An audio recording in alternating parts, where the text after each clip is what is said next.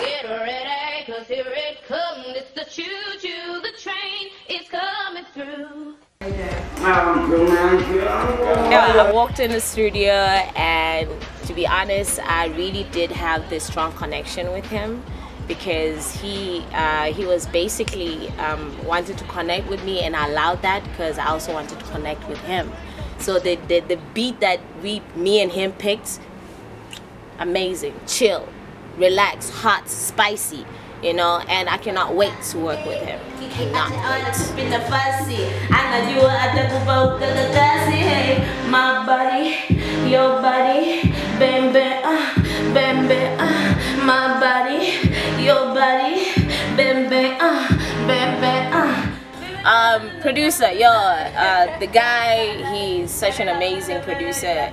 He basically was telling me, you know, how to build a track, you know, from asking me, Kiki, do you want a happy track, sad track, angry track? You know, so by him giving me those specific angles of how do you want to express your, your, your sound to the people, in what way, that for me, Zooks, yo, shout out to you. It, it's it's uh, my very first time to experience such a conversation with producer to ask me such a question.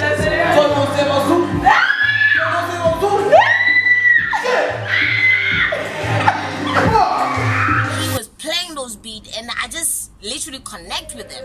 And from there, it's easy for me to, you know, write it down.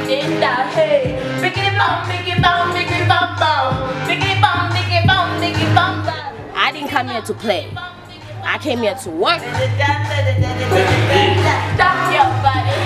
Oh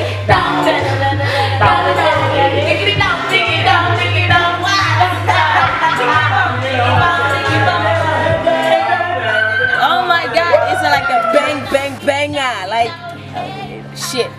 Banger. Why? Because I want I want to start with something that it will give people a chill. And also myself expressed through that sound it's, it's a different sound. I never F with it, you know. So I cannot wait. I, I don't want to say more about it. I just want you guys to feel that chill that I want you guys to feel. You know, like this too. My body, my body,